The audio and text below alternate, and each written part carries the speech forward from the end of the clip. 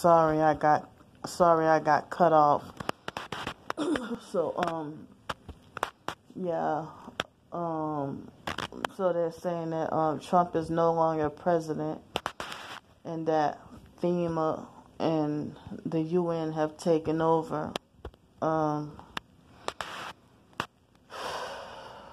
it's getting scary. Um all the executive orders are in place.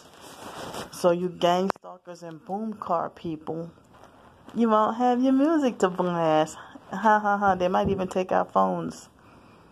You know, I heard that they plan to sus- shut down the internet too. You know, so um yeah it's getting scary and crazy. Um, some people say that the this coronavirus has not reached its peak, and um, you know, it seems like I'm just.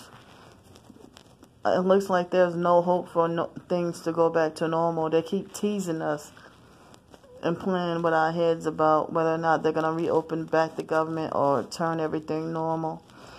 And I'll say that that all this food going to waste and they getting rid of food, throwing away food, just um, supposed to throw away a, a lot of milk, get rid of a lot of produce and everything, and can't sell it. Well, what's the fucking point of these twelve hundred dollar stimulus check if you can't buy anything?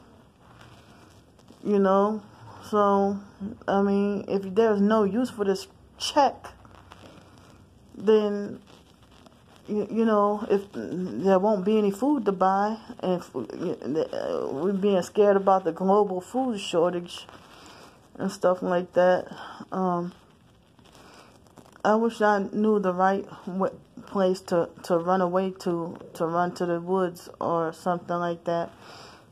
And I wish I knew how to survive. I mean, I read up on certain things about survival and prepping and stuff, but I only got to practice a little bit.